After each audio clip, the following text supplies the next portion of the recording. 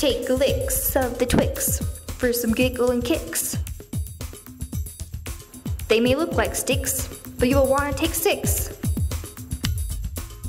Take licks of the Twix for some giggle and kicks. They may look like sticks, but you will want to take six.